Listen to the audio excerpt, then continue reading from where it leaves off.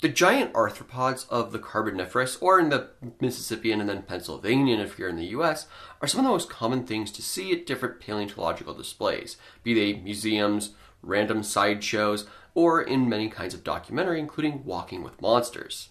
And this seems to be the case pretty much globally, with large evidence of arthropods coming from parts of the Grand Canyon and also parts of France, and again, just basically globally.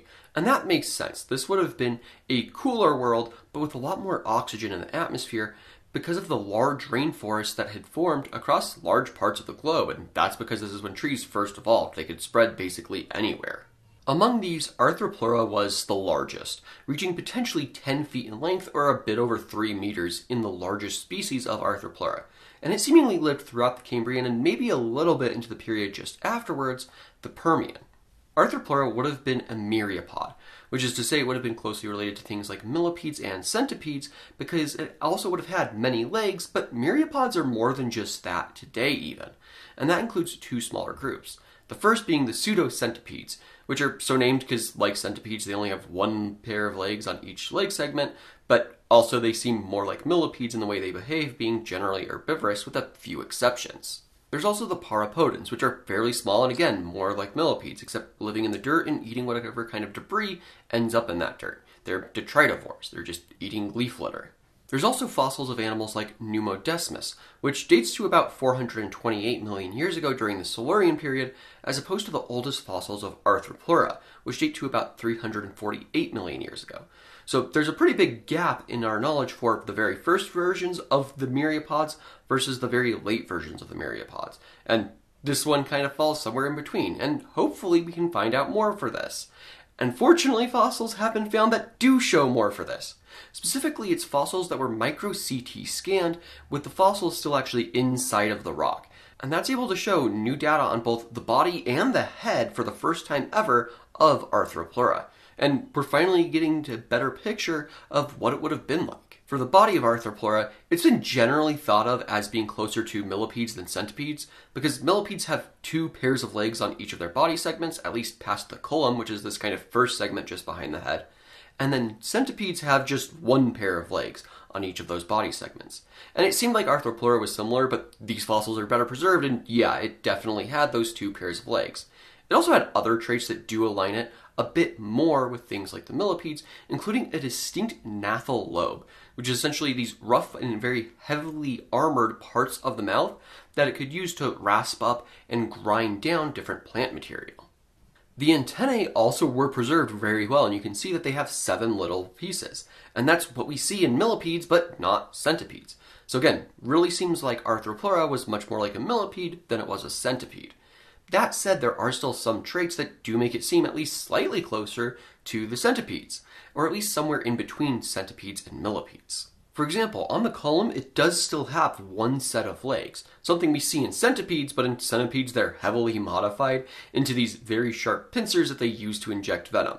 And it doesn't seem like it had that morphology, but the legs were still present. There's also two sets of maxillae, which are these little sets of limbs that help aid in feeding, pulling food towards the mouth. In modern millipedes, there's only one set of these, but in centipedes, there's still two. So we're seeing some of these kinds of transitions of different traits going more towards the millipede line rather than away from it. And again, very distinctly, the seven antenna, as well as the collum not necessarily having those large pincers, does help to support this idea. Arthropleura, though, still had some traits that were not like centipedes or millipedes, and that's more specifically the stalked eyes which it would have had. Stalked eyes don't exist in any myriapods today, However, when we look back at some of their older relatives, we do start to see some stalked eyes. So potentially this is just an older holdover that was maintained until eventually the stalked eyes just waned away, and that hadn't been the case yet in Arthropleura. Because they're so different, centipedes and millipedes are thought to be, yes, still myriapods, but very early diverging myriapods, at least from one another.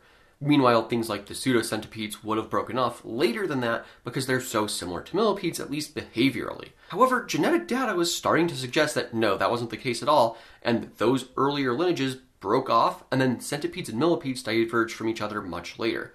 And for the first time with Arthropleura, we're actually seeing some physical evidence of that.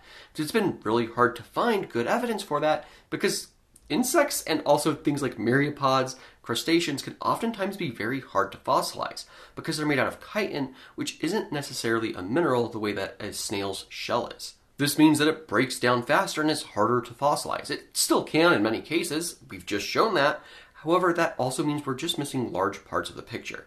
And so many of these fossils of Arthropleura were actually pretty partial, with just little sections of the body and legs. Many fossils of early myriapods are very partial. You just get little chunks of them because the rest of them just didn't fossilize. And so what that means is it's actually still really hard to place down where Arthropleura should be in the greater myriapod family tree.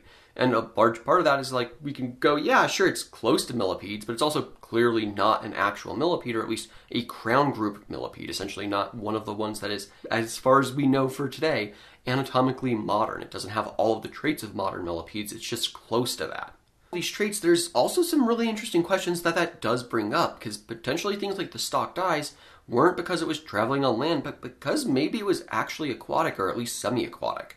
This is a really interesting idea because genetically we know myriapods started to split off when they still would have been in the water, at least as far back as we know.